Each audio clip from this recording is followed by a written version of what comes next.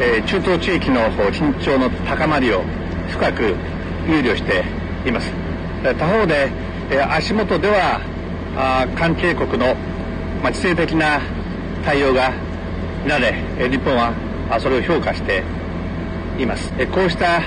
あ動きを地域の緊張の緩和情勢の安定化につなげていくためにはさらなる外交努力が必要となります。今回訪問するサウジアラビア UAE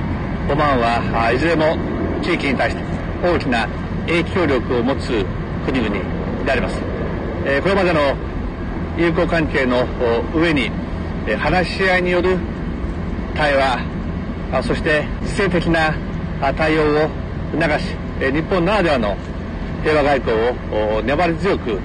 展開していく考えであります。